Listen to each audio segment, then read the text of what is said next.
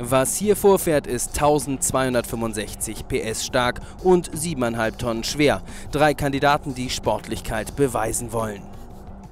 Von einem SUV erwartet man sicherlich nicht unbedingt Sportlichkeit und Dynamik, was möglicherweise aber ein Fehler ist, wie dieser Vergleich beweist. Die drei SUV, die wir heute für Sie zusammengestellt haben, beeindrucken nämlich vor allem durch Kraft und Faszination.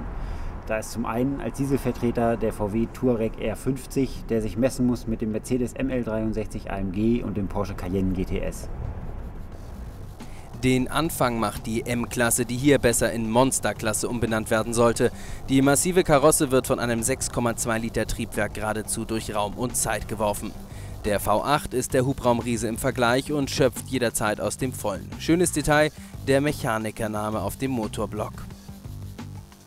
Auch in Sachen Leistung liegt der ML ganz vorne. Fast schon aberwitzige 510 PS bei 630 Newtonmetern Drehmoment stemmt der ML auf beiden Achsen.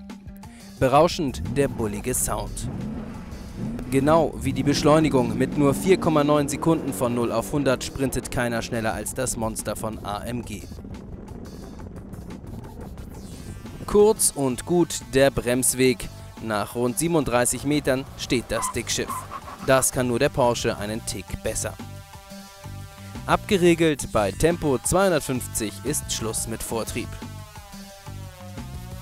Monströs das Standbild vom ML63 AMG. Große Lufteinlässe signalisieren Überholprestige auf der Autobahn. Die optionalen 20 Zöller erhöhen nicht den Komfort, sehen dafür aber gut aus. Innen weisen Aluminium-Zierteile und Lenkradschaltung den Mercedes als Sportler aus. Die elektrischen Ledersportsitze geben sehr guten Halt. Kein Zubehör, sondern Serie, Regelung für Luftfederung und die Bergabfahrhilfe in der Mittelkonsole. Fast schon schamlos die Umweltbilanz. Über 21 Liter schluckt der ML und pustet dabei rund 500 Gramm CO2 pro Kilometer in die Luft. Zurückhaltender da der 15.000 Euro günstigere Porsche Cayenne GTS. Auch sonst gibt der scharfe GTS auf den ersten Blick den dezenten. Unter der Haube hört es dann aber mit der Zurückhaltung auf. Porsche hat die Ansauganlage des 4,8 Liter V8 überarbeitet. Ergebnis, der GTS leistet 20 PS mehr als der Cayenne S und kommt so auf 405 Pferdestärken. Das macht sich vor allem auf der Rennstrecke bemerkbar. Klingt abwegig für einen SUV, ist aber die reine vergnügliche Wahrheit. Super, sprintstark, exaktes Einlenken, sauberes Spurhalten und fulminantes Herausbeschleunigen. Dieser Cayenne hat echte Sportwagengene. Porsche lässt den GTS laufen. Ohne elektronische Bremse beschleunigt er auf 260 Sachen und ist damit der schnellste. Optisch aufgepeppt die Front mit riesigen Lufteinlässen. Hervorragend die Bremsanlage, die typisch Porsche auch in diesem Vergleich die beste ist. Ebenfalls die wohl besten in Test die in zwölf Richtungen verstellbaren elektrischen Sitze.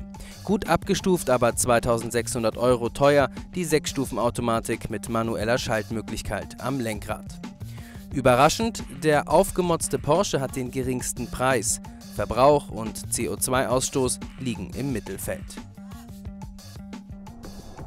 Ein ganz anderes Konzept als die beiden V8 Benziner von Porsche und Mercedes bietet VW mit dem Touareg R50.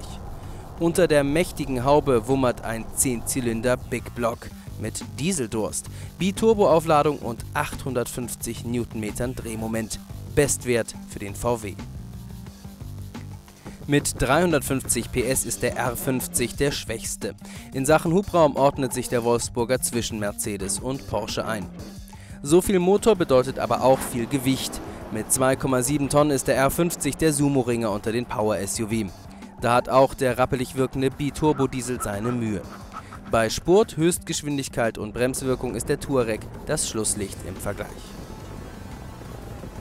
Wirklich schlecht sind deswegen aber auch seine Werte nicht. In 6,7 Sekunden schiebt der R50 auf 100. Erst bei 235 Sachen reißt der Vortrieb ab.